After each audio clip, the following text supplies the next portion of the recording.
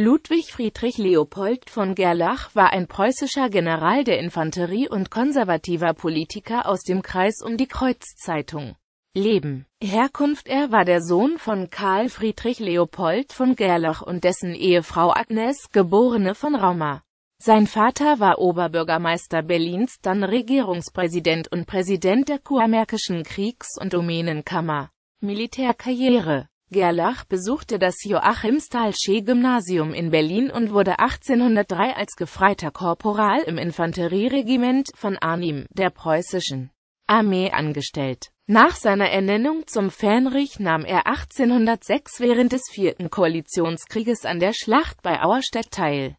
Dabei geriet Gerlach in Gefangenschaft, wurde aber auf Ehrenwort entlassen und inaktiv gestellt nach dem Frieden von Tilsit studierte er in Göttingen sowie in Heidelberg Jura, bis Gerlach 1812 zum Referendar bei der Potsdamer Regierung ernannt wurde. Nach dem Aufruf von König Friedrich Wilhelm III. wurde Gerlach als Sekundärleutnant in der Armee wiederangestellt und zur Dienstleistung dem Stab von General Blücher zugeteilt.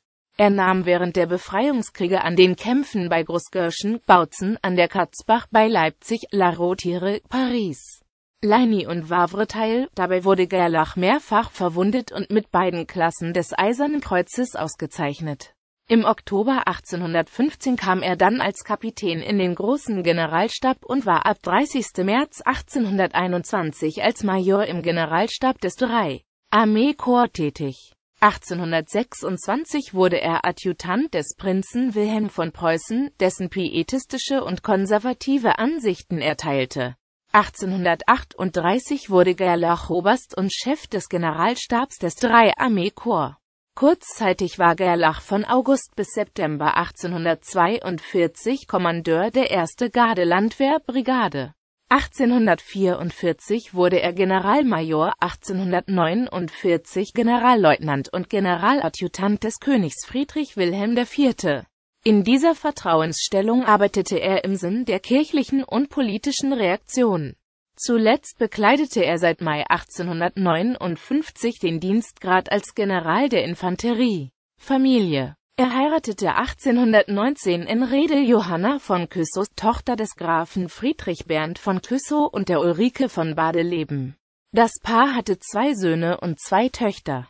Politik Mit seinem Bruder Ernst Ludwig von Gerlach war er Mitglied der christlich-deutschen Tischgesellschaft, dann der Nachfolgebewegung, der sogenannten Maikäferei und schließlich der konservativen Partei.